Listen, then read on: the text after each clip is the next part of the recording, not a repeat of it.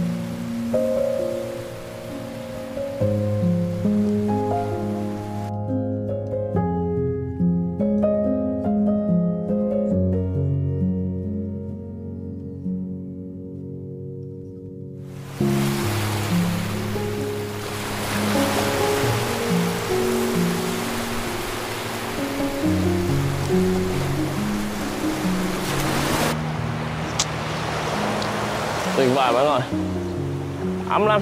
Nắng này ấm áp lắm nha.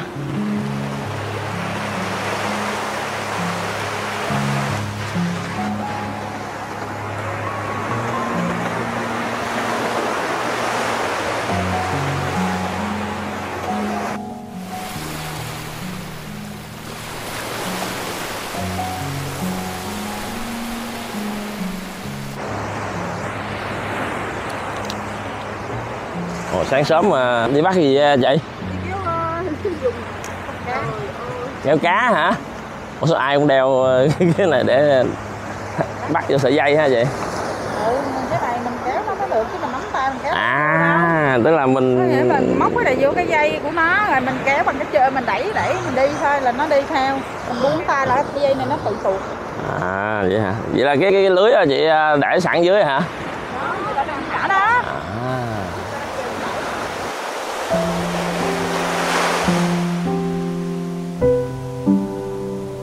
Bây giờ mọi người theo mình ăn sáng nha.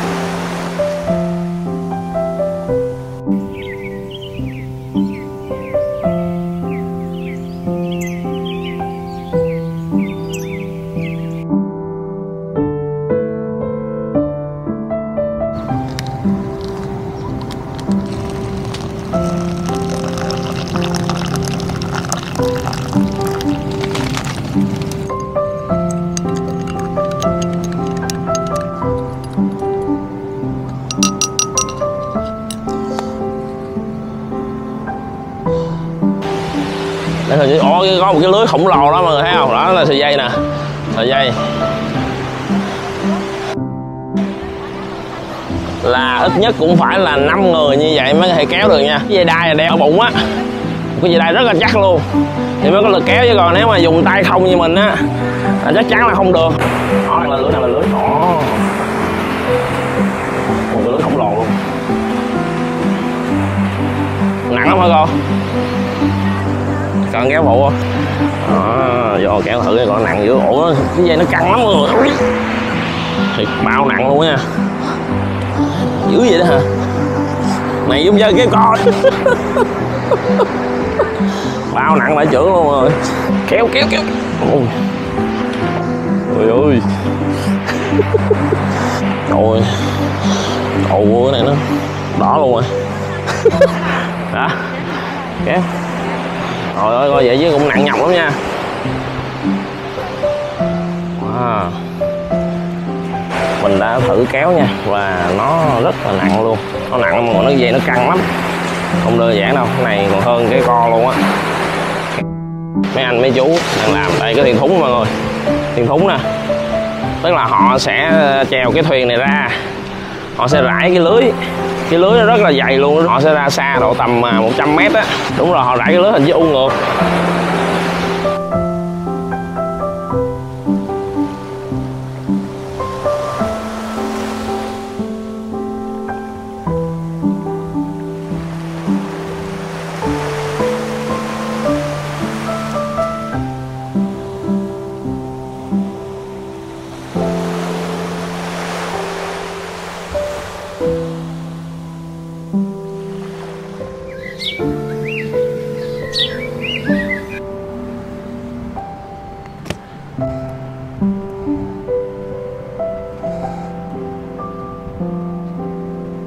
Música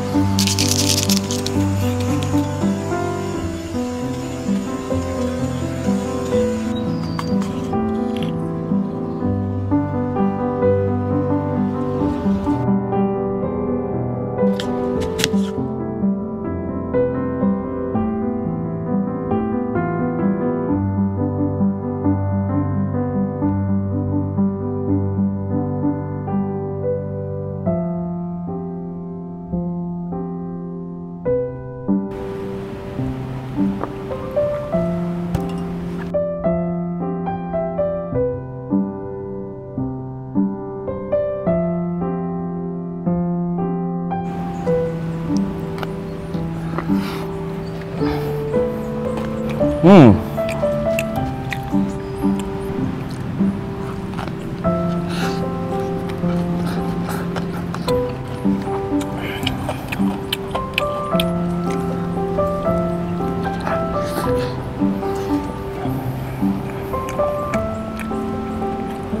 tuyệt vời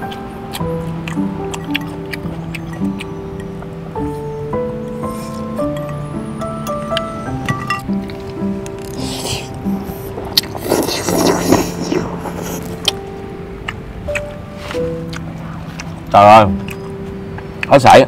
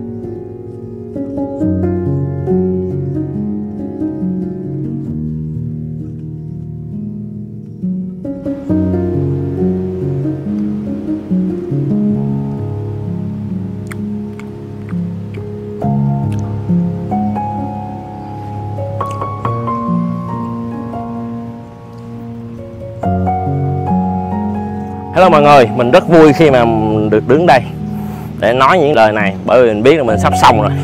Mình sắp kết thúc quá trình gian khổ rồi mọi người. À, một chuyến review một trải nghiệm không thể nào quên luôn. Tất cả đều là những lần đầu của mình hết. Có rất nhiều cái lần đầu nha rất đáng để học hỏi mọi người. Ngoài ra mình có thể có những thời gian tịnh dưỡng nghỉ ngơi ống ở Sài Gòn tấp nập vội vã quen rồi. Để lại mảnh giấy đừng lo đêm nay con đi chơi xa. Nói một người mà dân thành thị như mình á mà sống cái kiểu mà camping outside rồi kiểu mà hoang dã rồi đó. Đó là một thử thách luôn á mọi người. Một thử thách thực sự luôn á. Mình phải chuẩn bị tất cả mọi thứ luôn từ cái miếng lửa từ cái miếng từ cái nước từ cái nguồn điện từ cái ánh sáng một. Những cái điều mà ở thành phố là nó nó, nó hiển nhiên luôn rồi. Nhưng mà còn ở đây thì nó không có. Mình phải mình mình phải chuẩn bị từng cái dây câu mồi điện để mà xin người ta miếng điện luôn. Rất là khó mọi người đó.